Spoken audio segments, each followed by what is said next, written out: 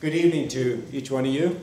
I trust that you came out here this evening to praise the Lord for what He's done for you and in your life. And if you don't know what it means to praise the Lord, that you would uh, this evening find out what it means to truly praise the Lord for the uh, forgiveness of sins that He can give us. To get us started here this evening, we're going to start with uh, a worship song. It's called Holy, Holy, Holy. And I just trust that you can just close your eyes and just let the Spirit of God speak uh, through these words here and just let them come within your heart.